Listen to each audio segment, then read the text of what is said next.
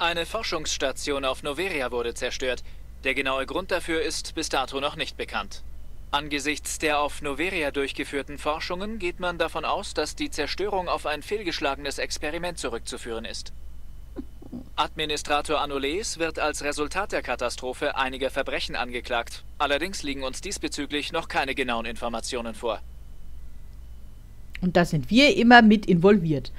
Ach ja, und die Meldung von der letzten Folge, wo ich, ich weiß nicht, ob ihr das noch mitgekriegt habt, äh, da ist eine Meldung hier angesprungen, als ich äh, die Folge beendet habe. Und das ging um eine, äh, um ein zerstörtes äh, Labor mit einer KI und dass da jetzt das eben untersucht wird, was denn da vorgefallen ist. Es war also höchstwahrscheinlich auf dem Erdenmond das, was wir da kaputtgeschossen haben. So, und nochmal ein schnutzliches Willkommen zurück bei Mass Effect. Landungstrupp. Dekontamination aktiv. Und die Andockbucht ist in der Sicherheitsakademie Logbuch. gewesen. Kommandant ist an Land gegangen. Executive Officer Presley hat das Kommando. Tja, da haben die Entwickler wohl ein bisschen Scheiße gebaut hier, hä? Upsi. So, erstes Ziel ist wieder Noveria. Aber erst speichern wir mal hier. Neuer Nachrichteneingang. Stelle Was durch. ist nu? Commander, die Story von Miss Al-Jelani über Sie wurde gerade veröffentlicht. Ich kann Ihre Zurückweisung verstehen. Sie hätte sich mit ihrer Anfrage an die offiziellen Stellen wenden sollen. Ich habe ein paar PR-Leute, die sich um solche Sachen kümmern. Ein paar mimetische Korrekturen und die Leute haben alles in einer Woche vergessen. Ich wollte Ihnen nur von den Reaktionen zu Hause erzählen. Aber ich will Sie nicht länger aufhalten. Fünfte Flotte Ende. Ich mag das eben nicht, wenn mich irgendeiner anbatscht. Ah, komm, ich brauche ein Interview. Einfach so. Nö. Würde, würde Mika tatsächlich auch direkt so nicht wollen. Er steht nicht gerne dermaßen in der Öffentlichkeit. Äh, so, einmal nach Noveria. Wir müssen doch mal mit dem, wie hieß der, Var Vargos? müssen wir nochmal versuchen, diesmal zu überzeugen und hoffen, dass es diesmal klappt.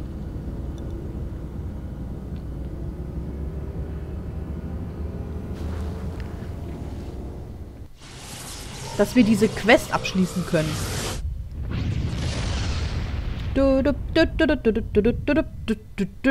Eine Nachricht für Sie, Commander. Sie kam eben über den sicheren Kanal rein. Shepard, hier spricht Admiral Karoku. Ich habe herausgefunden, wer meine Männer in die Falle gelockt hat, die, die vom Dreschlund getötet wurde. Ah. Verdammt, hoffentlich erhalten Sie diese Nachricht. Ja, Es war eine Gruppe namens Cerberus. Eine Geheimorganisation der Allianz. Streng geheim, allerhöchste Sicherheitsstufe. okay. Sie verschwanden vor einigen Monaten, waren einfach weg. Niemand weiß, wo sie hingegangen sind oder was sie vorhaben. Sie sind völlig durchgedreht, Shepard. Sie führen illegale Experimente durch und versuchen eine Art Supersoldaten zu erschaffen. Äh. Ich habe keine Beweise, aber ich habe die Koordinaten einer ihrer Forschungswelten gefunden. Ich schicke sie Ihnen mit dieser Nachricht. Sie sind völlig außer Kontrolle. Jemand muss sie aufhalten. Ich habe meinen Teil getan. Jetzt liegt es an Ihnen. Alles klar. Das ist wahrscheinlich meine letzte Nachricht an Sie, Shepard. Cerberus ist hinter mir her. Ich muss verschwinden, bevor Sie mich finden. Alles klar. Ah, ist das, lieber Nemasuk, ist das übrigens diese Questreihe, wo du meintest, dass die sich noch freischaltet irgendwann? Weil das war doch dieser Typ, oder?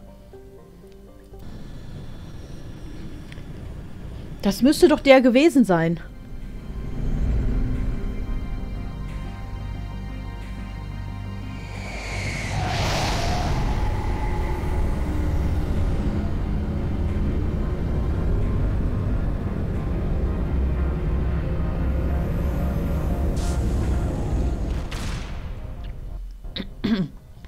So. Dann schauen wir mal, ob wir den guten hier diesmal überzeugen können. Müssen wir vorher aber dringend wieder abspeichern für den Fall, dass wir es doch wieder verbocken. so, wen nehmen wir denn mit? Nehmen wir mal die zwei Mannequins mit. Die sind eh alle so misstrauisch und mögen uns wird nicht. Außenatmosphäre angeglichen. Logbuch. Kommandant ist an Land gegangen. Executive Officer Presley hat das Kommando. Schubidum, schubidum. So, jetzt muss ich erstmal wieder die Stelle finden, wo da überhaupt rumsteht.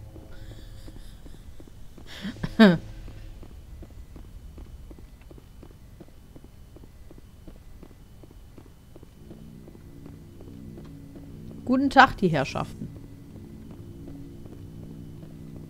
Oh, hör auf zu ruckeln hier.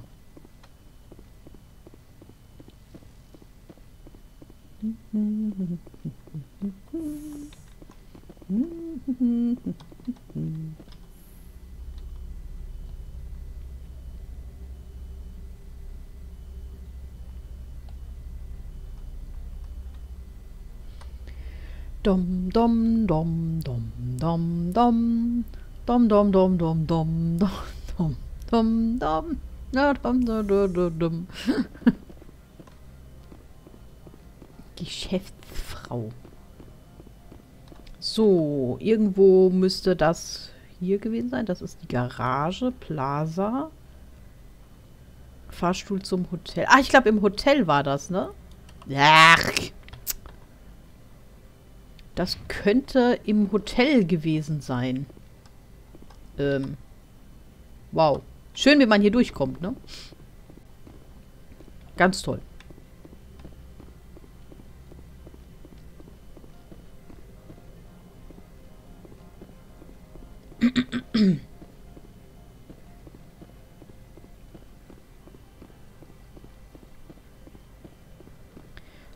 La la la la la la la la la la.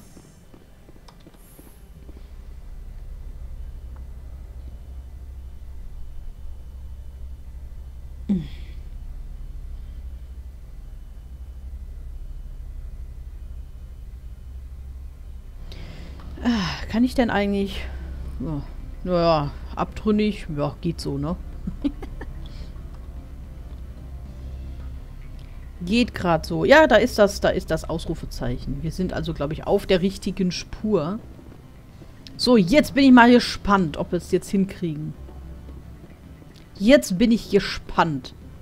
So, einmal speichern, please.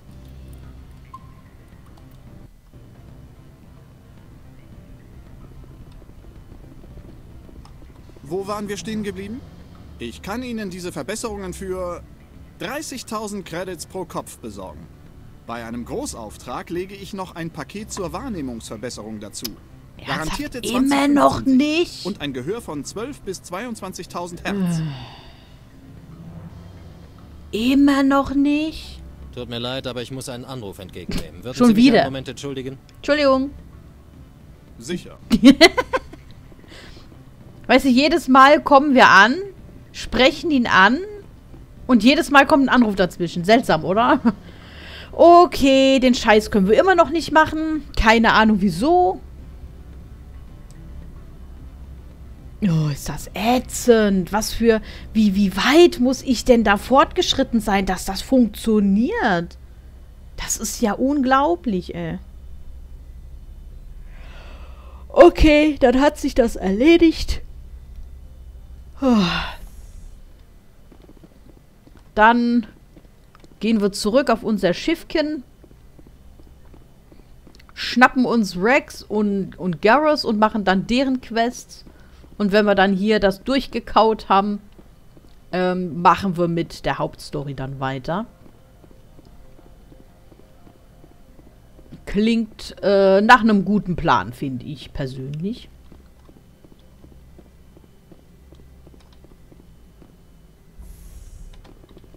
Fahrstuhl.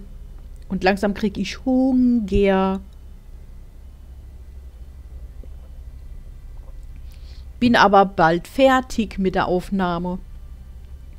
Noch gewissermaßen an, an eineinhalb Folgen. Und dann mache ich mir was zu essen. Was Leckeres zu essen. Äh? Ach, da.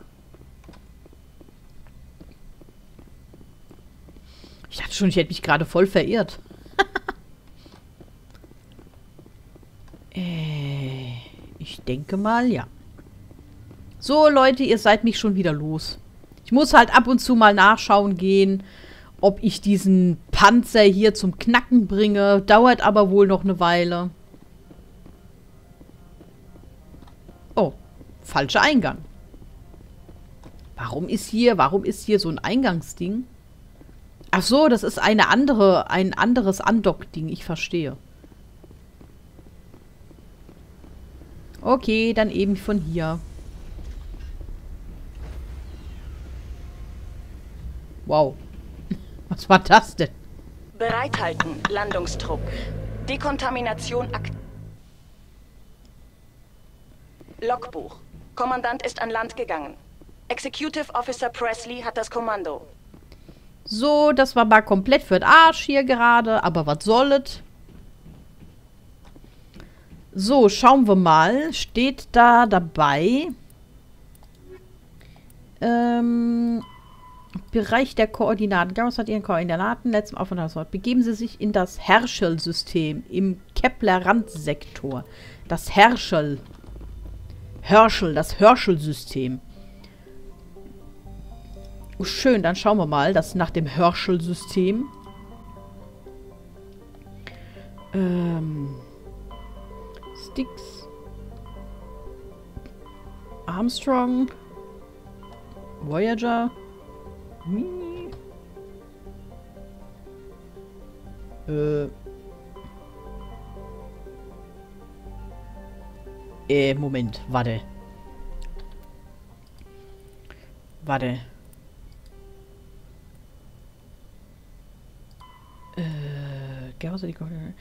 Begeben Sie sich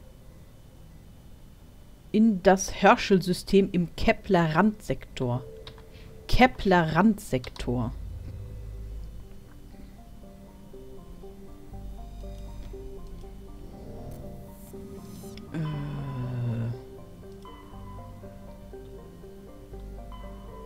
Kepler, Rand... Voyager, Armstrong, Century, Kepler-Randsektor, da haben wir es doch. Newton, Herschel. Gut, aber wir gucken uns erst das andere an. Ne, aus Prinzip einfach, damit wir das dann abgeschlossen haben. Damit wir das dann abgeschlossen haben. Und da bin ich mal gespannt, was da kommt. Entschuldigung, ich muss zwischendurch gähnen.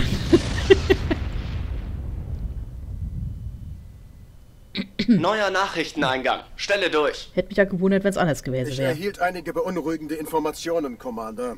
Wir brauchen Ihre Hilfe. Jemand bringt frühere Allianzwissenschaftler um. Es hat im letzten Monat vier Todesfälle gegeben. Okay. Früherer Wissenschaftler.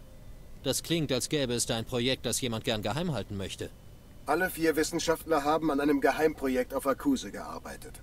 Dort fand vor einigen Jahren ein brutales Massaker statt. Eine ganze Einheit wurde von Dreschschlunden getötet. Es wurde als Naturkatastrophe eingestuft, aber die Projektdaten fallen mit den Angriffen zusammen. Das kann kein Zufall sein. An dem Projekt war noch ein weiterer Wissenschaftler beteiligt. Dr. Wayne. Ich übermittle Ihnen seine letzten bekannten Koordinaten. Viel Glück. Fünfte Flotte Ende. Oh nein, ich habe keinen Bock auf eine Knüppelei mit Dreschlunden. Unterrum, Sesmose, Glencory, Junkro. Äh, Junko ist ein typischer Wasserstoff-Heliumgas-Gigant, in dessen oberen Atmosphärenschichten sich Spuren von Chlor und Natrium nachweisen lassen. So wie Uranus in unserem Sonnensystem ist er zur Seite geneigt, sodass sein Nordpol vom Stern Newton zugewandt ist. Dem Stern Newton zugewandt ist. Gasvorkommen entdeckt sind Wasserstoff. Äh, äh. Oh, der hat, der hat nur vier Ah, hier kann man landen. Das machen wir gleich. Glencory oder Glenzori, was weiß denn ich, ist ein Fels- und Eisplanet mit einer Atmosphäre aus Chlor und Argon. Die Permafrostoberfläche des Planeten besteht hauptsächlich aus Kalium mit Vorkommen an Eisen. Glenzori schuldet seinen Bekanntheitsgrad dem exzentrischen Volus-Milliardär Kumun Schol, der Anspruch auf den Planeten erhebt. Er behauptet, er sei in einer Vision von einem höheren Wesen der Auftrag erteilt worden, auf Klenzori nach den verlorenen Grüften der Lichtwesen zu suchen. Diese Wesen seien angeblich an, zu Anbeginn der Zeit geschaffen worden, um das organische Leben vor synthetischen Maschinenteufeln zu schützen. Zwei Jahrzehnte lang hat Scholl an der toxischen Oberfläche Klentoris unter großen Kosten Ausgrabungen unternommen. Keine der Regierungen hat dieser Welt genug Bedeutung beigemessen, um seine kleine Söldnerarmee zu vertreiben. Oh, Matriarchinnenschriften. Und Sesmosee ist ein Eiszwerg, dessen Oberfläche fast vollständig aus gefrorenem Wasser besteht. Normalerweise würde sich ein derartiger Kleinplanet nicht für einen Eintrag auf der Systemkarte klassifizieren. Aber Sesmoses ungewöhnlich großer und schöner Eiskristallring hat ihn zu einem beliebten Motiv Bildern der Bilden, Bilden der Künstler gemacht. Der Ring ist das Ergebnis eines äquatorialen Einschlags, der einen großen Graben hinterlassen und eine enorme Menge geschmolzenen Wassers in die Atmosphäre geschleudert hat. Die Ringe stellen ein temporäres Phänomen dar, das in ein paar tausend Jahren vollständig verschwunden sein wird.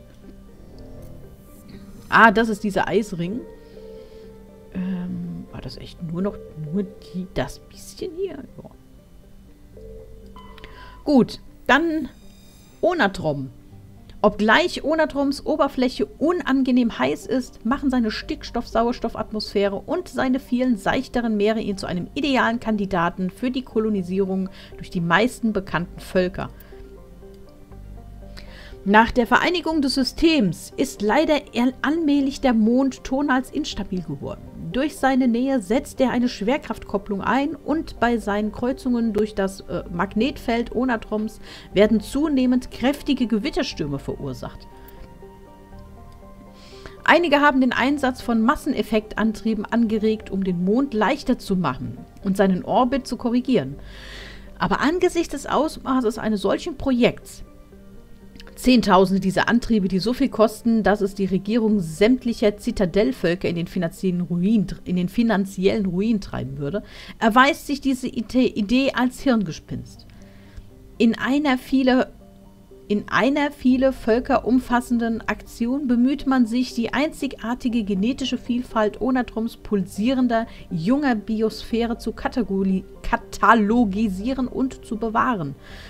Die Allianz wird bei diesem Unterfangen von Exogeni und Haven Genomics vertreten. Gut, da landen wir jetzt, gucken, was wir da haben. Äh, wir nehmen schon mal die zwei Guten mit. Und dann schauen wir mal, was hier unten abgeht.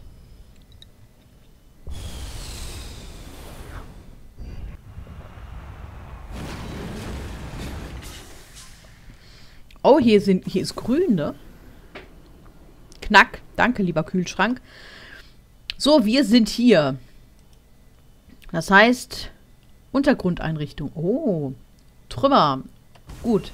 Das heißt, wir gehen nach und nach alles ab, so wie wir es kennen. Und hoffen, dass uns hier keine Dreschlünde um den, in den Jordan befördern.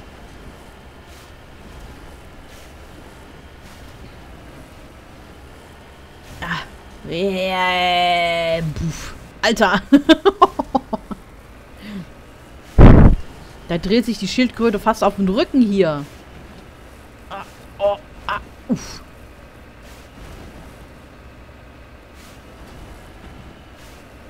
Ah, so. Ah, schon besser. Hui, yep. Ach, guck da unten. Bäh! Was ist das denn? Was sind das denn für Viecher?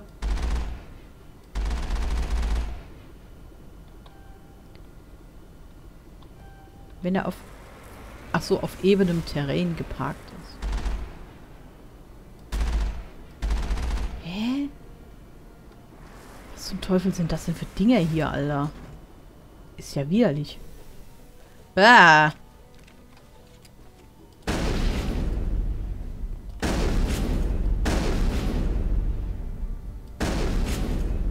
Sind das Nester? Oh, turianische Leiche. Oh Gott. Äh, schnell durch. Turianische Insignien. Und wieder eine Menge Geld. Yeah. So, dann haben wir hier einmal Trümmerteile oder whatever.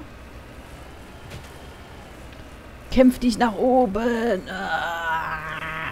Mir fehlt hier so ein bisschen die Hupe, die Motivationshupe. Ah. So. Uff.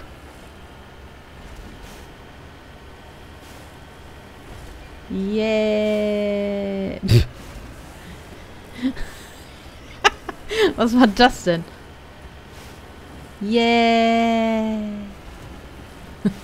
yeah. Tschö. Was macht das Ding denn da? Sag mal. Alter, jetzt fahr doch mal gerade. Äh, Danuff.